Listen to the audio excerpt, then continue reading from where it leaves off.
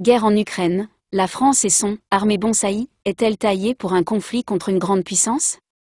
Spécialisée dans les opérations extérieures ces dernières années, l'armée française doit faire face à une évolution des menaces internationales, dans un contexte où les États-Unis pourraient se désengager en Europe. Effectif, expérience, matériel. Que vaudrait aujourd'hui l'armée française, dans un conflit dit de haute intensité?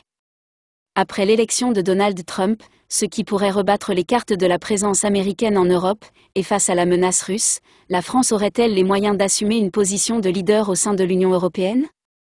20 minutes fait le point sur la situation. Quel est l'état des forces armées françaises? Le ministère des Armées compte en 2024 un peu plus de 200 000 personnes, dont 120 000 au sein de l'armée de terre, dont 77 000 au sein de la force opérationnelle terrestre, 40 000 dans l'armée de l'air et 41 000 dans la marine la réserve s'établit à un peu plus de 40 000 personnes. Parmi les équipements principaux, l'armée de terre s'appuie, officiellement, sur 222 chars de combat Leclerc. La France disposait par ailleurs, avant 2022, de 76 camions canons César, capables de tirer 6 obus à 40 km en moins d'une minute, et en a cédé une trentaine à l'Ukraine. Une commande de nouveaux matériels doit lui permettre de remonter à 109 unités, après 2030. La marine possède de son côté 4 sous-marins nucléaires lanceurs d'engins, 5 sous-marins nucléaires d'attaque, un porte-avions, 15 frégates et 45 avions de combat Rafale marine. L'armée de l'air dispose de 197 avions de chasse, dont 108 Rafales avec les dernières livraisons en 2024, mais doit céder quelques Mirage 2000 à 5 à l'Ukraine début 2025 chercheur au Centre des études de sécurité de l'IFRI, Institut français des relations internationales, spécialiste de l'armement, Léo Peria-Peigné tempère ces éléments. En termes humains, on commence à voir les effets du vieillissement de la France, ce qui limite la population recrutable, explique-t-il à 20 minutes. D'autres facteurs, comme la fin des opérations extérieures, OPEX, qui ont largement contribué au recrutement des armées, font qu'il sera peut-être difficile de réaliser la transition avec les nouvelles missions des armées, notamment notre présence à l'Est, moins attractive. Sur le matériel, le spécialiste de l'armement estime que la France dispose en réalité d'un peu moins de 200 chars, dont les deux tiers sont opérationnels à un moment donné. À côté de cela, de nouveaux véhicules entrent en service Griffon, Jaguar, Serval, des engins très modernes mais dont la conception est elle aussi très influencée par les OPEX africaines de la France. Sur les avions de chasse, à force d'étaler la livraison des rafales, lorsque le dernier sera livré, il faudra quasiment retirer les premiers, qui auront alors plus de 30 ans, alerte le spécialiste. Et il nous manque encore de la capacité à détruire les défenses antiaériennes adverses. Une puissance nucléaire enviable? La France est aussi, avant tout même, une puissance nucléaire, ce qui lui confère un statut particulier.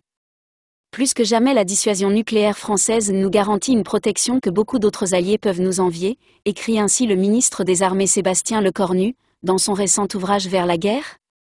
L'intérêt de la dissuasion étant que l'adversaire doit prendre en compte dans son calcul le risque d'escalade nucléaire, rappelle à 20 minutes Yannick Pincé, docteur en histoire contemporaine et spécialiste du nucléaire, au sein du Centre interdisciplinaire sur les enjeux stratégiques, SIEN. Mais la dissuasion française est-elle crédible? Nous disposons de 290 têtes nucléaires, cela peut paraître faible, mais nous avons de quoi causer des dégâts considérables, assure Yannick Pincé. Si on lançait ne serait-ce que la moitié de notre arsenal, nous pourrions faire baisser les températures à l'échelle mondiale. Et nous avons un autre allié avec qui nous avons des intérêts vitaux communs, le Royaume-Uni. Si on cumule les deux, nous ne sommes pas loin des capacités chinoises, et là on entre dans une crédibilité encore plus forte. Pourtant, même si la France a toujours eu une dimension européenne dans sa conception de la dissuasion, rappelle Yannick Pincé, nos alliés préféreront toujours le parapluie américain, car en termes capacitaires les États-Unis nous sont bien supérieurs, et sont jugés plus dissuasifs. Les États-Unis, 3700 têtes nucléaires, possèdent, notamment, 180 armes nucléaires déployées en Europe.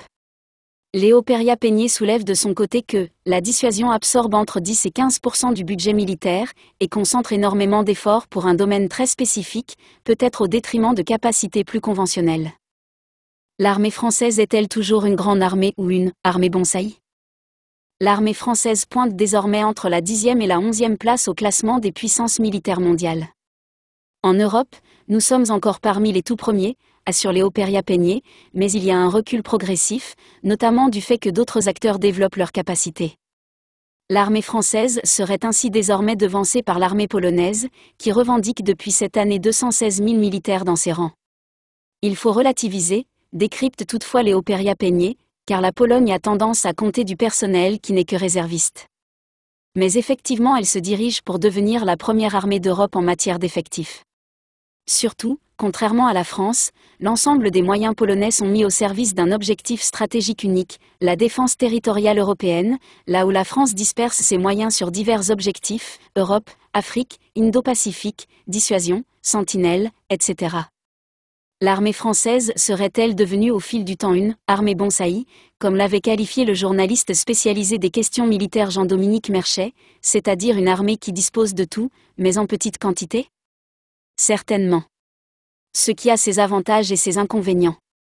Yannick Pincé pointe qu'elle est ainsi l'une des rares en Europe à avoir maintenu une armée multicapacitaire.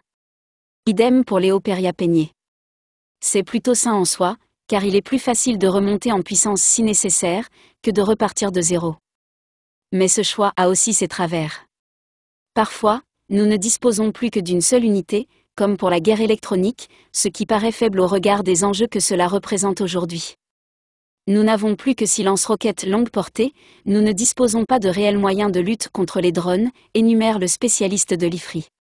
Si demain nous devons être la nation cadre au sein de l'Union, il va nous manquer des choses. Mais nous ne sommes pas les seuls, tout le monde est dans ce cas-là. L'expérience acquise en opération extérieure pourrait-elle servir en cas de guerre à haute intensité? Depuis 2015, les forces armées françaises sont régulièrement engagées dans des opérations contre le terrorisme, Barkhane au Sahel, Chamal en Irak-Syrie. Mais, ce n'est pas parce que nous savons faire la guerre au Mali, que nous savons faire la guerre de haute intensité, déclarait le général Thierry Burkhardt, chef d'état-major des armées, dans un entretien à l'AFP et au New York Times le 6 mai dernier. Je ne dis pas que ce que nous faisons au Mali est facile, mais nous n'avons pas d'artillerie en face qui nous frappe dans la profondeur. D'un côté cela nous vaut l'admiration de certains, car ce qui a été fait ce n'est pas que du combat, c'est aussi la capacité à organiser, à faire des déploiements, de la logistique, ce qui est très précieux, mais cela nous a aussi coûté très cher en matière d'usure du matériel, explique Léo Peria Peigné. Et il faut reconnaître que ce sont des opérations très spécifiques, avec une opposition limitée, parce qu'il s'agit davantage de contre-insurrection que de guerre. Nous avons ainsi une armée de terre qui s'est spécialisée dans des missions expéditionnaires au Sahel et qui doit maintenant évoluer pour pouvoir faire face à la haute intensité. Que vaudra cette expérience, si on doit défendre nos alliés de l'Europe au sein de l'OTAN? Je ne sais pas. C'est un héritage ambivalent. La France et l'Europe pourraient-elles se défendre contre la Russie sans les Américains? Il va sans dire qu'un affrontement contre une grande puissance comme la Russie se ferait à l'échelle de l'Europe ou de l'OTAN, et non d'une seule nation. Or, la présence ou non des États-Unis en Europe définit notre capacité à nous défendre, estime Léo Peria Peigné. Sans les États-Unis nous sommes en difficulté, mais la priorité américaine n'est plus la Russie, c'est la Chine. La guerre en Ukraine a stoppé momentanément le reflux de la présence américaine en Europe, mais est-ce que ça va durer avec l'élection de Donald Trump? Je ne sais pas. La présence de soldats américains sur le sol européen est primordiale, confirme Yannick Pincé, car, s'attaquer aux pays de l'OTAN, c'est s'attaquer aux soldats américains. Or, durant la campagne de la présidentielle, le milliardaire a fait planer la menace de se désengager en Europe. Est-ce que Trump va retirer ses soldats? Je n'en suis pas sûr, pense toutefois Yannick Pincé. Il ne faut pas oublier que l'OTAN est aussi une alliance qui permet à l'industrie américaine de tourner à plein régime, puisque les pays européens achètent du matériel américain. Regardez les difficultés que l'on a à exporter du Rafale en Europe, alors que nos alliés achètent des F-35. Donc, même Donald Trump réfléchirait à deux fois avant de concrétiser ses paroles. Ouais, NC.